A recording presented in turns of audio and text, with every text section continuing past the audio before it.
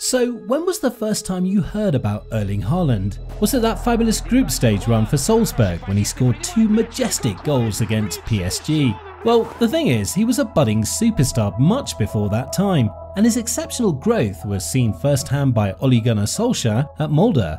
So, let's look at Haaland's spell at Molde and how that set him up for stardom. Early impressions.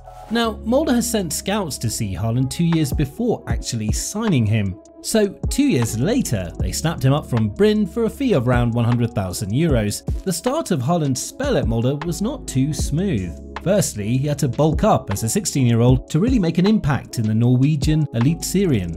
He actually did that quite successfully, making the physical specimen we see today. The first year Molde he grew 20 centimeters, 9 inches in one year, so he needed to control his training, said Molde's former chief executive Øystein Neerland. Then he started also to build his physique.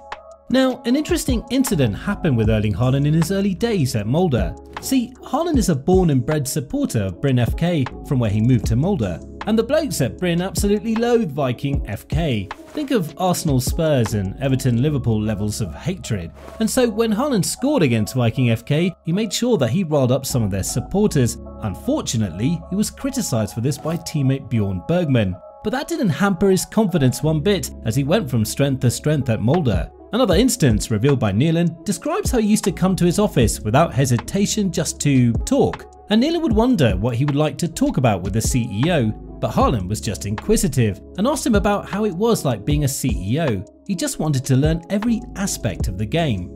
Defining moments. One of the most defining moments in the career of Haaland when he showed signs of his future accomplishments has to be the time he played in an all-important game between two title contenders Molde and SK Brann.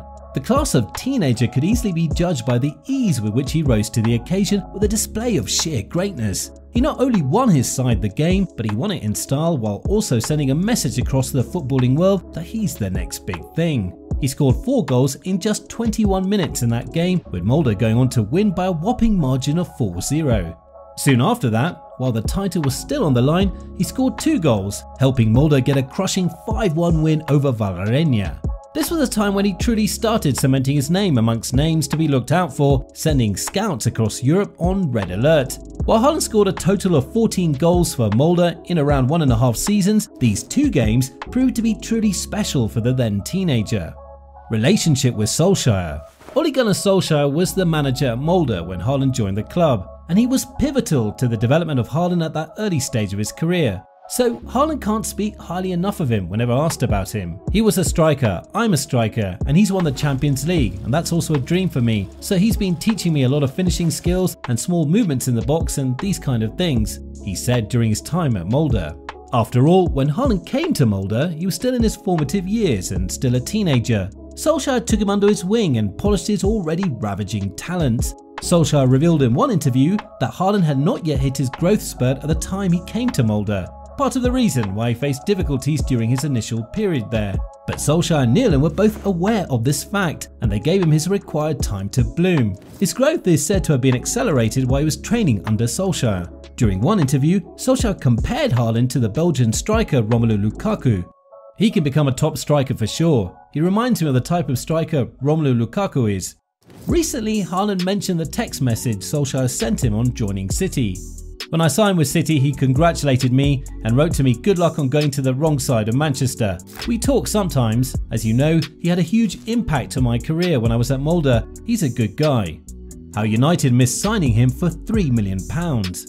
Another incident from his time at Molde saw United missing out on signing him by just an hour. Yes, you heard that right. According to a report by The Mirror, it had been arranged for a United representative to ring Haaland's agent, Jim Solbakken, at 9am and finalise a deal worth £3 million plus add-ons. What transpired was that Molde thought it would be 9am Norwegian time. When the call came through, it was 10am in Norway.